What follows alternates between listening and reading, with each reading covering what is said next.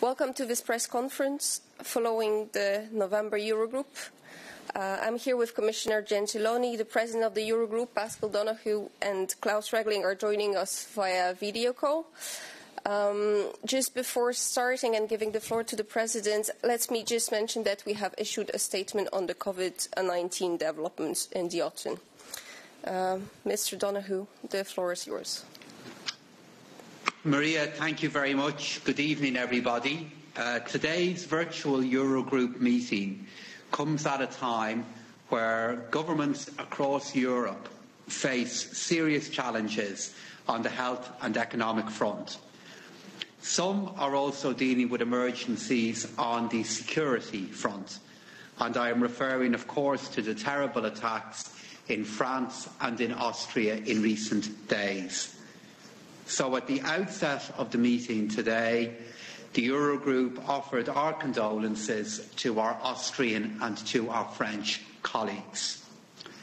Then, of course, our first discussion focused on the latest health developments and their economic consequences in view of the worrying surge in COVID-19 cases.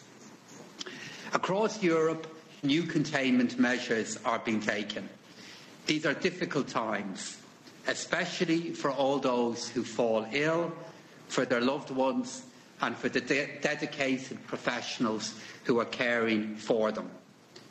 People are rightly worried about their job prospects, and they rightly expect decision makers to protect them from the economic fallout of this pandemic. I'm thankful, therefore, to Dr. Andrea Ammon, Director of the European Centre for Disease Prevention and Control, who joined our meeting today to inform us of the latest COVID-19 developments.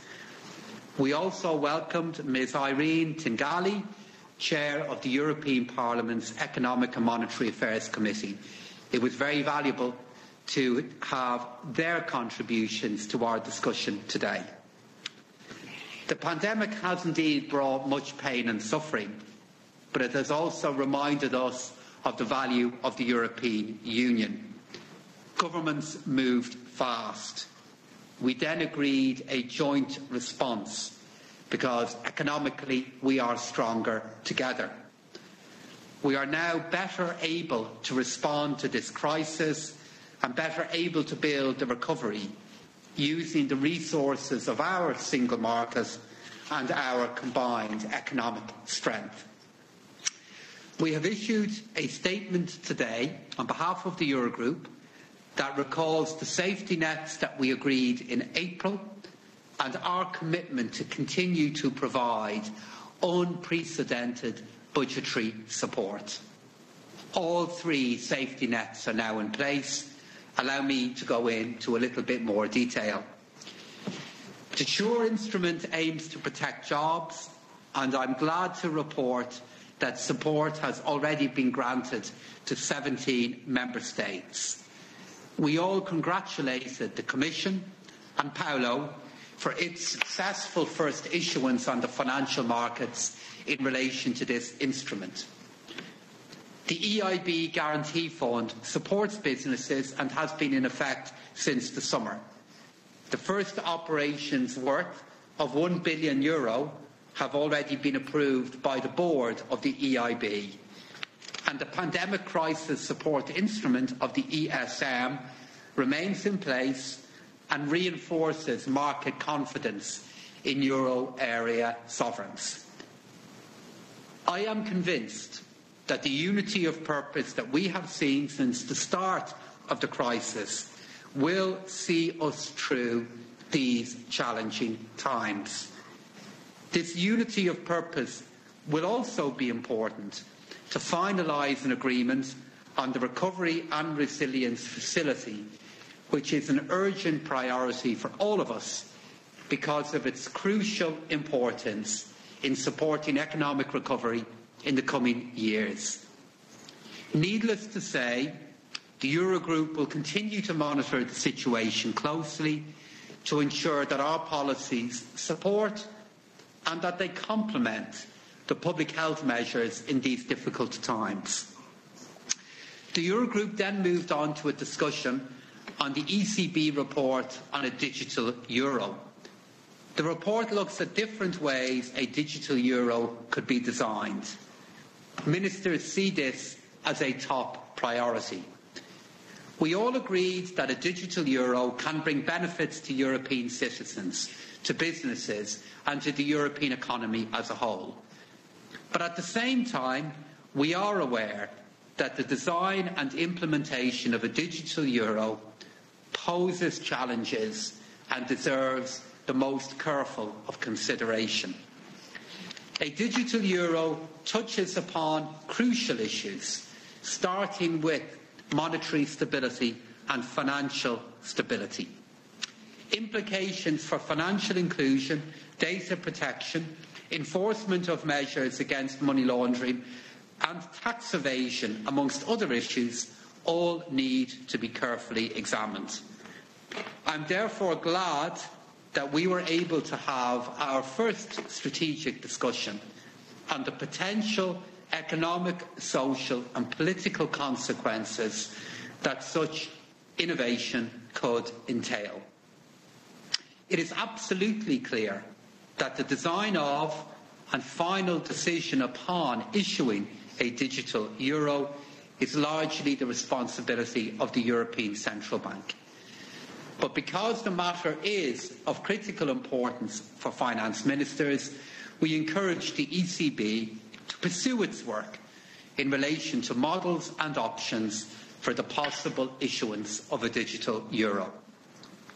In the meantime, I expect the Eurogroup to return to this topic on a regular basis.